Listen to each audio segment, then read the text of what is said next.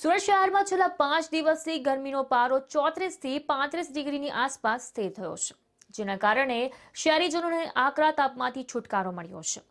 જો કે હવામાનમાં ભેજનું પ્રમાણ વધારે હોવાના કારણે શહેરીજનો અસહ્ય ઉકળાટ અને બફારાથી પરેશાન થઈ ગયા છે. સુરત શહેરમાં મહત્તમ તાપમાનનો પારો એકતાલીસ ડિગ્રી સુધી પહોંચ્યા બાદ છેલ્લા પાંચ દિવસથી દરિયાઈ પવનો ફૂંકાવાની શરૂઆત થઈ છે. વૈશાખી વાયરાઓ ફૂંકાવાની સાથે શહેરના તાપમાનમાં છ થી સાત ડિગ્રીનો ઘટાડો થયો છે. આજે મંગળવારના રોજ સુરત શહેરનું મહત્તમ તાપમાન ચોત્રીસ ડિગ્રી નોંધાયું હતું. છેલ્લા પાંચ દિવસથી તાપમાનનો પારો ચોત્રીસથી પાંત્રીસ ડિગ્રીની આસપાસ જ રહેતા શહેરીજનોએ આકરા તાપમાંથી છુટકારો મેળવ્યો છે. આ સાથે જ આજે શહેરના હવામાનમાં ભેજનું પ્રમાણ છાસઠ ટકા જેટલું રહ્યું હતું. તેમજ શહેરમાં પ્રતિ કલાકે આઠ કિલોમીટરની ઝડપે પવન ફૂંકાતો રહ્યો હતો.